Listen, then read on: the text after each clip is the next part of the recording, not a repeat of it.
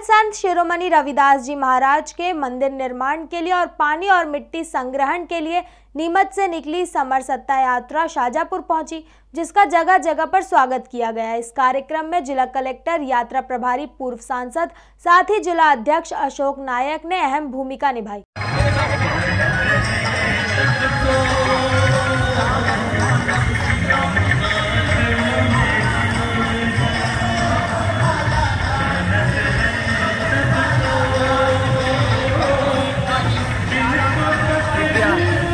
जाओ दुबे जी।